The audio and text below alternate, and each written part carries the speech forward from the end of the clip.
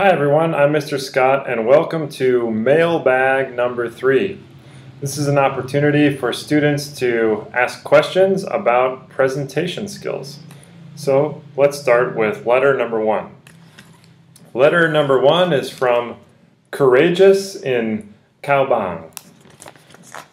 Okay, I think we've gotten a letter from Cao Bang before. Let's see what Courageous in Cao Bang has to say.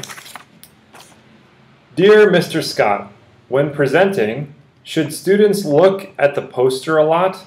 Regards, Courageous in Cao Bang. You know, that's a good question.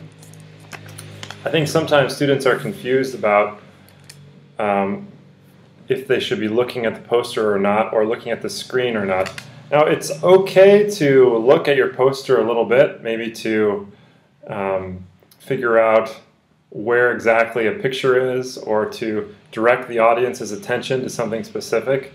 But we don't want to be facing the poster or the screen at any point. We want to make sure that our bodies are facing the audience. And you can look back at your poster or the screen, but the important thing to do is to not turn your body so that your back is to the audience because that's just um, it's it's kind of off-putting for the audience, and it's also difficult for them to hear your voice. All right, let's move on to letter number two, and that is from Bashful and Bac Kan. Okay, Bashful and Bac Kan.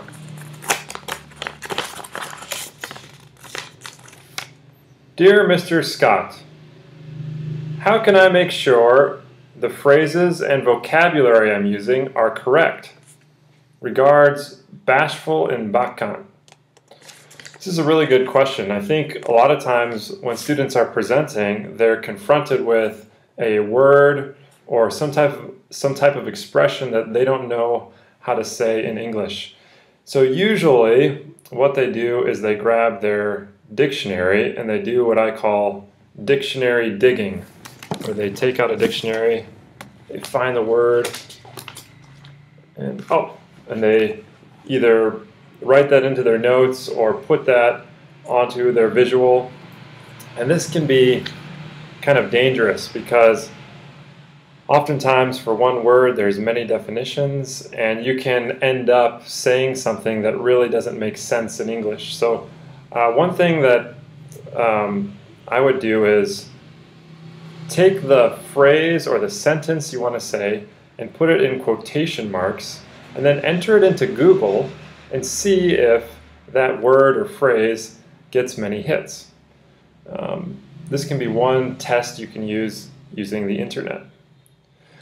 Another thing you can do is ask someone, and um, that can be sometimes effective depending on the person that you ask, but you really want to try to make sure that the things that you're saying really do make sense and that the words you're using uh, make sense. And sometimes we need to look at more than one dictionary or more than one reference. And I think the internet can be a great way to check the words and phrases that we use. That's a good question. Now we move on to letter number three, and that is from Vain in Vinh. Vain in Vinh. Interesting. Dear Mr. Scott, how should I dress for a class presentation? Signed, Vain in Vinh. You know, the way we dress really is important because if you think about it, sometimes our bodies are a visual aid. You know, sometimes um, students will dress in a costume or use some type of um, shirt, hat, something that can be used as almost like an object visual.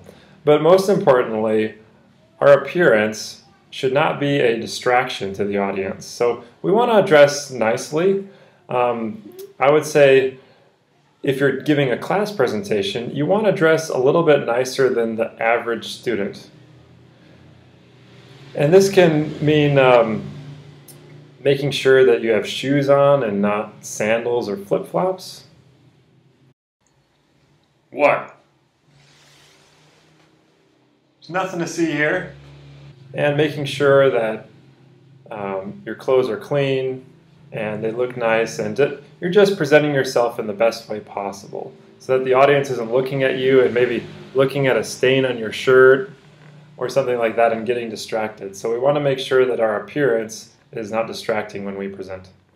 Okay, these are really good questions and uh, thank you for them. If you have any other questions, please feel free to send them through the website or talk to me in class. I'm Mr. Scott and I will see you next time.